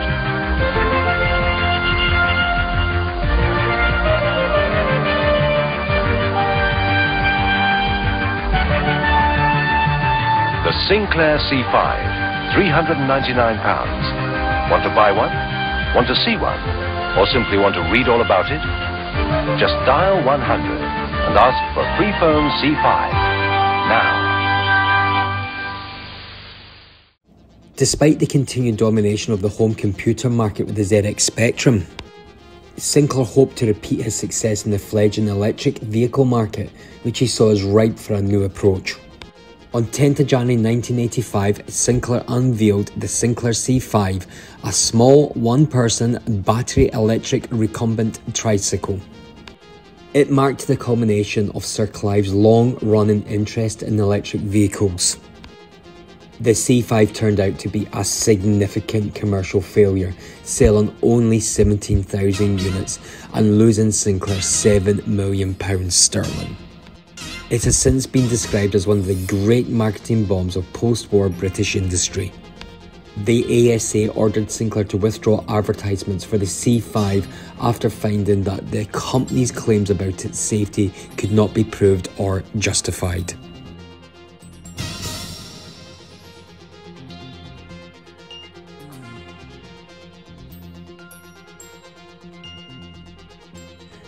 The combined failures of the C5 and QL caused investors to lose confidence in Sinclair's judgment.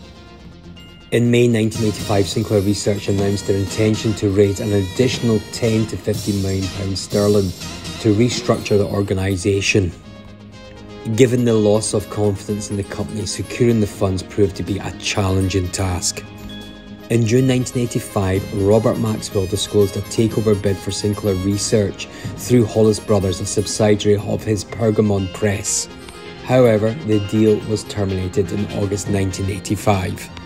The future of Sinclair Research remained uncertain until the 7th of April 1986 when the company sold their entire computer product range along with the Sinclair brand name to Alan Sugar's Amstrad for £5 million. Sir Clive Sinclair, the man who first put computers in Britain's homes, has sold his business to a rival, Amstrad. The price, £5 million. Sinclair Research, Sir Clive's company, has been making big losses, recently estimated at a million pounds a month. Amstrad is a profitable British company built up by Alan Sugar. Now he takes over the making and the selling of the Sinclair computers. It was the day the boffin handed over to the business brain, as Sir Clive Sinclair, founder of the British home computer industry, sold out to Alan Sugar, whose Amstrad company only started in computers two years ago. Sinclair still has 40% of the market, but the boom days are over. Everyone agrees he's a brilliant inventor, but his brain children haven't always been reliable or sold well. His latest invention, the C5 electric tricycle, was launched with a fanfare, but never found a market. Today's deal clears most of his debts and leaves him to do what he likes best, research. We are innovators, uh, researchers. We come up with new product ideas, new market ideas. But we've always recognized that once a market flattened in terms of the technology, that we were never going to be able to compete with the experts in mass marketing, mass production, and that we ought to hand over to them. By contrast, Alan Sugar has specialized in marketing, in no-frills designs at cut prices. He's a salesman rather than a scientist. He started up in 1965 selling car aerials. In 1968 he formed Amstrad, an acronym of his own name, Alan Michael Sugar Trading. He produced hi-fi equipment. And by 1980, when Amstrad went public, its market value was 8 million pounds. By 1984, Sugar was into personal computers. The company's market value now 80 million pounds. Today, the market value is 521 million pounds, and the latest target, America. Uh, we bought the Sinclair brand name uh, on computers. Uh, uh we, we will market the uh, Sinclair computers worldwide. Yet it costs just 300. Amstrad's trademark is the hard sell, and now Sinclair should get the benefit. The takeover sent ripples through the London Stock Exchange, but Amstrad's shares soon recovered, with one stockbroker affirming that the city appears to have taken the news in its stride. Amstrad's acquisition of the brand name saw the release of three ZX Spectrum models through the late 1980s, each with variant improvements.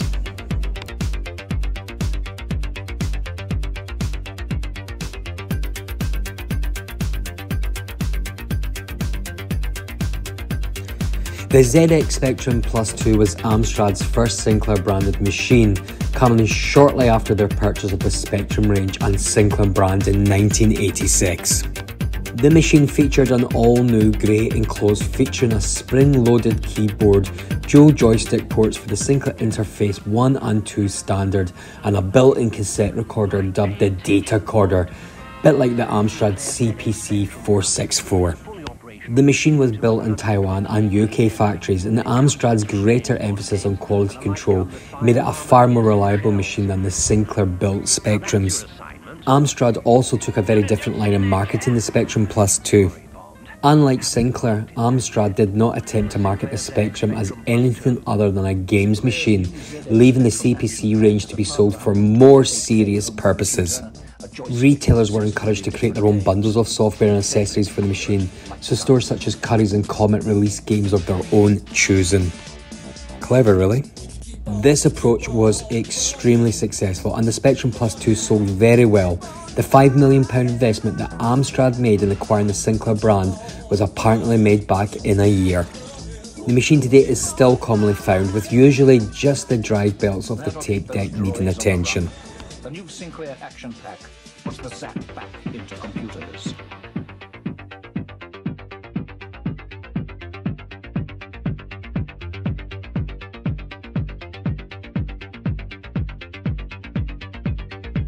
The ZX Spectrum Plus 3 looked similar to the Plus 2, but featured a built-in 3-inch floppy disk drive instead of the tape drive and was in a black case. It was launched in 1987, initially retailed for £249 sterling and then later £199, and was the only Spectrum capable of running the CP/M operating system without additional hardware. The machine was a fairly big redesign over the Plus 2, with new ports added or changed. Probably the biggest difference was the rear of the machine, which now sported an all new interface port for a printer and also for the allowance of a second disk drive. Unfortunately for Amstrad, the machine's high cost and games costing on average £5 more on disc, sales of the computer and software were low, those who did buy the machine were happy enough to load cassette games in through the sound socket.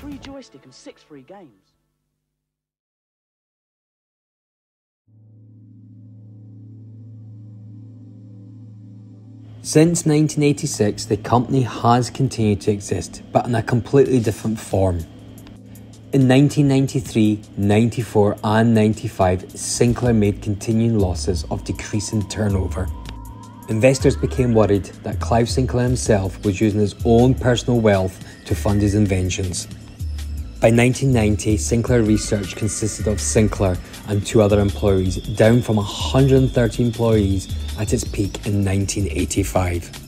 Eventually, the company's entire staff had been reduced to just Sinclair himself, a salesman, administrator, and a research and development employee. Let's have a look at the last chapter and the final inventions of Sir Clive Sinclair. In Clive's later years, Sinclair devoted himself to personal transport, coming up with a Zike electric bike in 1992 and the Zeta electric engine for an ordinary bicycle in 1994. In 1992, the Zike electric bicycle was released. This was Sinclair's second attempt at changing people's means of transport. It had a maximum speed of 10 miles per hour and was only available by mail order. Much like the C5, the Zike was a commercial failure and sold only 2,000 units. part of tomorrow's world and radically alter our lives. And there's one man who's come up with more than his fair share of these. He brought us the first pocket calculator, the first LED wristwatch, the world's first pocket television, and he revolutionised the home computer market with this. But he has had his fair share of failure too, including the infamous C5 electric tricycle. And now his latest idea to change our lives. Sir Clive Sinclair and his electric bicycle. Welcome, Sir Clive. It whizzes along, doesn't it? Yes, it does. It's quite cute. Right, let's start with some practicalities. I gather the top speed is 15 miles an hour. Why is that? That's the legal limit for, for electric bikes. There was legislation in the 80s. They, they can be used just like a bike anywhere. They don't need any license, no insurance. Anyone over the age of 14 can use one. That's marvellous. Now, it will go 10 miles before it needs recharging. Yes. Can you recharge it quickly? Yes, t- just a f uh, one hour for a full recharge, and it'll go up to 30 miles on, on one of the other options. 10 miles if you don't pedal at all, up to 30 if you do a bit of pedaling. And you're expecting people to do a bit of both, are Yes, you? I think some, most will, I think, yes. Now, you're a real enthusiast when it comes to electric vehicles, but why do you think you're going to have a success with this? How can you be sure? Because the C5 was a failure, and in the mid-80s, six electric bicycles were launched, and five of them have disappeared. That's right. Why will this work? Well, all those, all those vehicles um, had the same, same problem. They used a lead-acid battery, it was extremely heavy, and so bicycles using them ended up weighing 80, 85 pounds minimum, in fact. Um, to overcome that, we've gone to NiCad batteries, which are very, very much lighter. But that alone wouldn't have solved the problem because um, it would still have left, left a very expensive bike and, and still a relatively heavy one. So we've had to take a sort of holistic approach. Um, we've got a, a, radical new motor that we've developed for the bike. And the motor's just down there, just down isn't it? There, and, yes. and, the battery in, in this in, part? In, in, the tube, yes. What about um, the motor then? Well, it's only about the size of a teacup, and it uses an incredibly incredible new magnet that's extremely powerful. But so we can get very lightweight. We've got very lightweight structure, and the overall bike is as light as a racing bicycle. Sir Clive, when I last interviewed you, you said you were working on an electric car. Is yes. it really possible to produce a car that's cheaper than that one in Italy and is still practical? Yes, indeed. Using the sort of technology we've pioneered on the bike, we can come up with a car, we're very confident, that would actually be less expensive than a petrol engine version. Well, good luck. I hope you succeed. Thank you. And goodbye. We'll see you next week on Wednesday as normal. And now I'm going to try this bike. Thank you very much. They're environmentally friendly, but don't want to break into a sweat. A new propulsion device which can be strapped onto almost any standard bicycle. An ordinary bike, but not quite. This one keeps going even when you stop pedalling. The bike itself is perfectly conventional, but on the back, a battery-powered motor drives the wheel, giving the cyclist significant help for up to 30 miles, or 10 if you don't pedal at all. The battery is recharged overnight for less than a penny. It's controlled by a switch on the handlebars and a lightweight motor drives a belt around a pulley that rests on the tyre when in motion.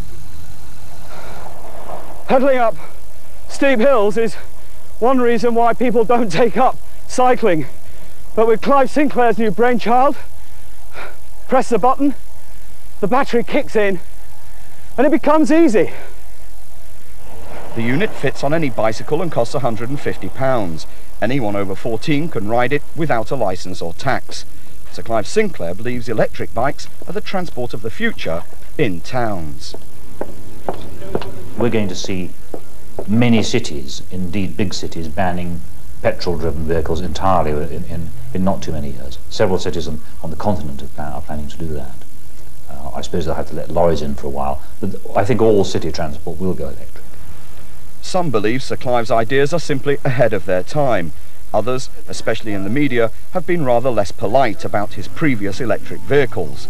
This one could run. In June 1997, Sinclair Research released the X1 radio for £9.50. The miniature mono FM radio, powered by a CR2032 battery, had a fixed volume and was inserted in the ear. The X1 radio had only three buttons an on and off switch, a scan button, and a reset button to restart the scanning process. It came with a short length aerial and a detachable ear hook.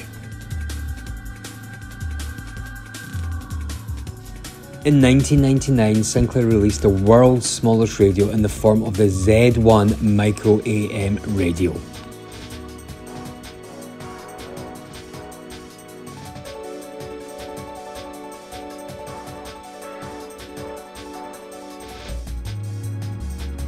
In 2003, the Sinclair ZA20 wheelchair drive unit was introduced, designed and manufactured in conjunction with Hong Kong's Daka Designs, a partnership which also led to the Sea-Doo Sea Scooter underwater propulsion unit. You're looking at a conventional wheelchair in use on a typical street. But not quite so conventional as it may first appear. This wheelchair is specially adapted, and it's the first of a new generation. Underneath the chair there's something very new, a wheelchair drive unit. And it's designed to provide electrically powered pushing assistance for most common domestic types of wheelchairs that are propelled along by an attendant, both folding and rigid chairs.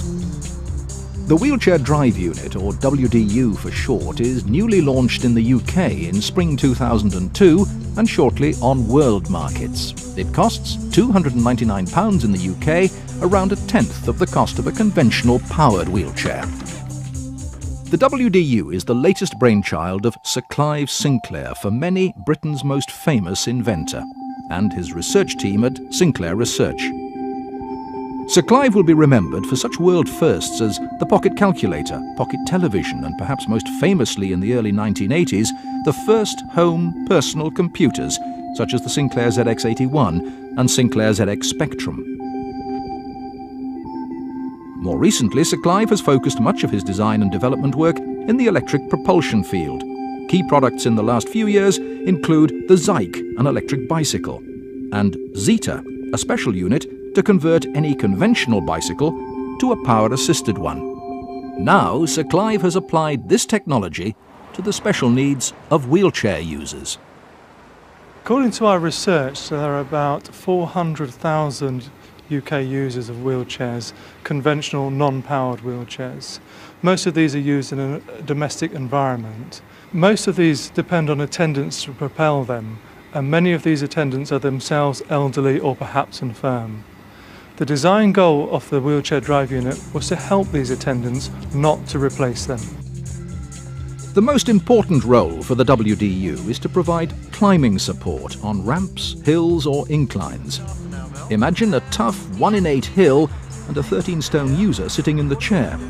The WDU will provide the attendant with 100% of the power needed to climb that hill at a steady 1.7 miles per hour and on a really tough 1 in 4 ramp, the WDU will provide the attendant with 50% of the power needed at the same steady speed. In a typical pattern of use, this new pushing assistant will run for around 60 minutes or 4 miles, extendable with spare batteries. The whole assembly, including battery, weighs less than 10 pounds or 4.5 kilograms. The key innovation lies in the design of the unit's geometry. The Sinclair WDU employs an ultra-efficient rare earth direct current motor. Power is transferred via a reduction gearbox to the special polyurethane drive wheel. This is lifted and lowered by a strap controlled by the attendant. Pivoted from the wheelchair frame, it presses to the ground when driven forward. It's a case of the harder the drive, the harder the grip. And this provides high efficiency since it maintains the optimum pressure between wheel and ground. But it's not an excuse for a new class of wheelchair racing. Sir Clive and his team stress that the maximum speed is limited to just 2.1 miles per hour, and the maximum climbing power is delivered at just 1.7 miles per hour. It's all about assisting the attendant at the right time, in the right place, and at the right speed. So, how does it work? The attendant turns the trigger, fitted to the left handle, to the on position. Then lowers the drive wheel to the ground by using the lifter on the strap attached to the right handle. Now the attendant presses down on the trigger and simultaneously starts pushing. The Sinclair WDU begins to assist almost immediately. Conversely, if the attendant releases the trigger, power cuts immediately, and bumping up a curb or step, the WDU is raised using the lifting strap. And if the WDU isn't needed for a time, then it's simply parked by placing the trigger in safe mode. Or folded away. Most typical folding chairs will still fold away, even with the unit installed. So, just how easy is the new Sinclair WDU to fit and maintain? The unit attaches to the vertical frame of the chair. This needs to be clear of any obstructions. The telescopic arms are fully extended, ready for fitment. The clamps are snapped onto the frame.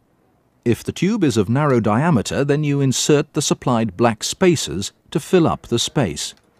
Now you tighten the clamps, but not completely. They slide on each side of the frame until both are aligned around 25 centimetres, say 10 inches, from the ground. Then the clamps are tightened completely and secured. The correct alignment of the drive wheel is crucial. This is simple but very important. Line up the drive wheel so that it is equidistant from the two wheels and with the groove in the side of the case vertical. When it's positioned correctly, tighten up the two arm clamps securely. Prior to adjusting the strap length, help the user into the chair and then adjust the drive wheel so that it is one quarter of an inch off the ground. If you do this earlier, the user's weight will lower it back down. And finally, snap the switch onto the handlebar. The Sinclair WDU assisted chair is almost ready to go. It just remains to attach the battery, which hangs entirely clear of both wheels and frame. The Sinclair team estimates that a typical first installation should take 10 to 20 minutes, and only a moment or two when transferring between chairs. A revolution is coming to Britain's streets. Next time a wheelchair passes you by, take a closer look. It may be one of the very first of the new generation with electrically powered pushing assistance. With the new Sinclair WDU, designed and developed by Sir Clive Sinclair and the Sinclair Research Team. It's available now from Sinclair Research at just £299 in the UK.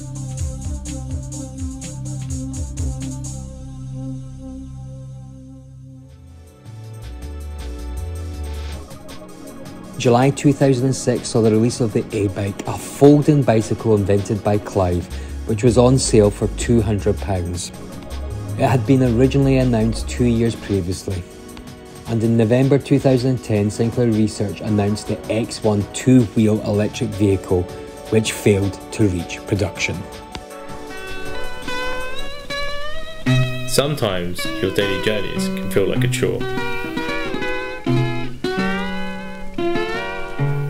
You just want to get there quicker, without all the stress and effort, and arrive in a good mood. That's why we made a bike that makes your journey shorter, easier, and enjoyable. The new A-Bike Electric is the lightest and most compact electric bike. It's really simple. Just hop on and A-Bike does the work for you. The dual chain drive makes pedaling easy. The electric power assistance automatically kicks in to get you up to speed to keep going, going, and going. To power up for your next ride, plug it straight in or charge it somewhere else. It's the lightest electric bike, so it's really easy to carry.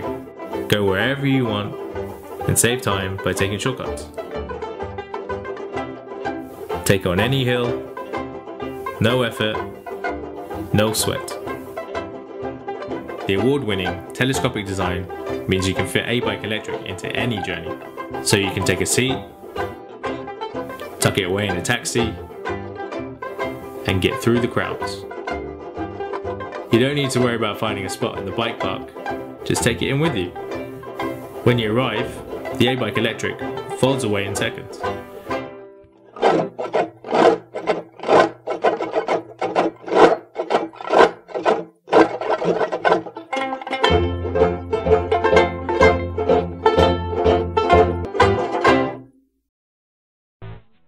The ZX Spectrum Vega is a modern redesign of the ZX Spectrum in the form of a miniaturized TV game created with the involvement of Sir Clive Sinclair. It comes preloaded with several games from the platform. The Vega mimics the look of the original 48K Spectrum computer. However, the keyboard that consisted of 40 rubber keys has been replaced in favour of a simplified layout comprising of only 13 buttons. The console connects to the television via an RCA composite cable and uses a USB cable to draw power. And since the console is meant to be held like a controller, the size of the unit has been reduced to fit in the hands, and the cables measure around 3 meters so it can be comfortably used with some distance between the screen and the user.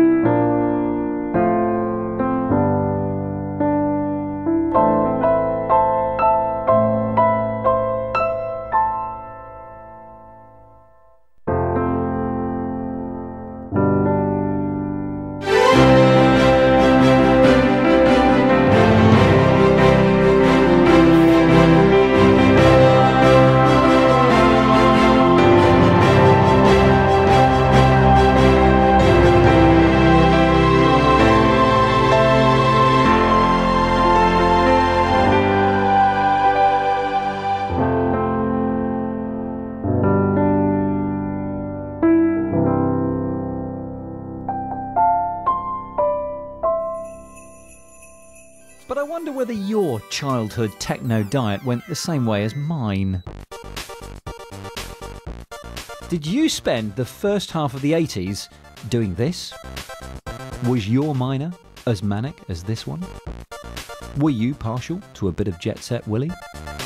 Yep, these eight colour marvels were once the cutting edge of computer entertainment, and for many people, games like this acted as an introduction to home computing. And this is the man who helped kick off that home computing revolution. Clive Sinclair, then Sir Clive now. He was the brains behind this little box, the ZX Spectrum, the 8 bit wonder that sold millions around the world. It spawned a huge game scene, thousands of titles, all smaller in size than a modern email, entertained and inspired an entire generation to not only play but also to code and to invent. Well, now Sir Clive is putting his name to this, the Spectrum Vega, which comes preloaded with a thousand of the original Spectrum games. It is a gaming centric reincarnation of Sinclair's iconic machine, which exceeded its crowdfunding target in just a couple of days. So, with this in mind, I caught up with Sir Clive to talk to him about his passion for games. Did you play any Spectrum games yourself? Never. Okay, maybe not for games, but definitely for modern tech how much of today's technology, modern technology, would you say you use? Oh, well, I don't directly use it myself at all, really. I've got a landline telephone and no, no. Okay, but how about artificial intelligence and the vision he had back in the 80s for the future of computing? No, I'm, I'm very impressed by the, the processing power, but I'm not at all impressed by what is done with it. It's, it's really rather dull when you consider how you know what we achieved with with a few k of RAM in those days. It's it, it's a bit sad how very much it has not progressed from there. Uh, fully expected back then that we would have um, computerized doctors and computerized teachers. You know, letting a letting a robot operate on you, I suppose. I mean, even if the technology is there, do you think people could ever be persuaded? Too damn right. Would you? Well, not right now because I know they're not good enough at the moment. But one day they'll they'll be they'll they'll surpass humans. One of the talking points at the moment is the driverless car. Yes. So I suppose that's the kind of thing where we have to give a lot of trust over to. I gave a, a lecture. Uh, well, back in the eighties, I gave a lecture where I said, if you'll enjoy driving. Um, get on with it now because you, you'll lose the chance in a, in, in a few decades. Because once they start and people realise how much safer they are, um, they'll suddenly start passing laws saying, sorry, but you can't drive anymore, you'll have to leave that to the cars. If a driverless car has a crash, who's to blame? Yeah. Is it, is it the maker of the car? Is it the maker of the software? Is it the maker of the sensor? Is it the person that was sat behind the wheel that should have taken over at the last minute? You worry too much. Do I? Maybe I should have been a lawyer. Thank you so much for seeing us. Great pleasure. Thanks nice to see you again. Place.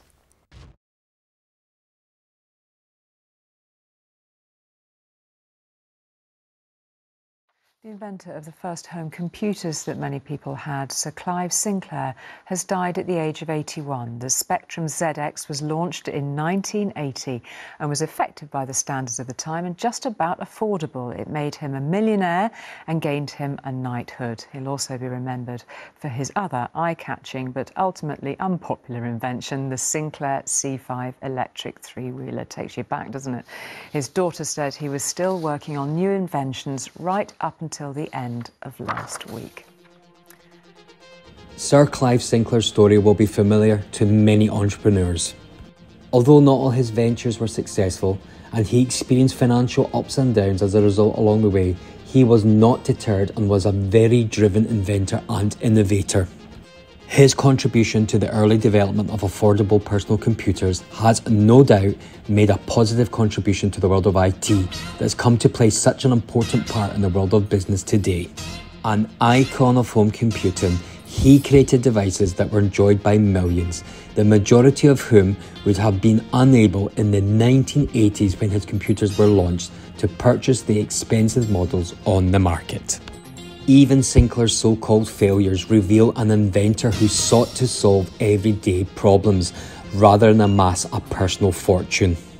Anticipating electrified personal transportation, Sinclair developed an electric car, then an electric bike, long before the vogue they both enjoy today.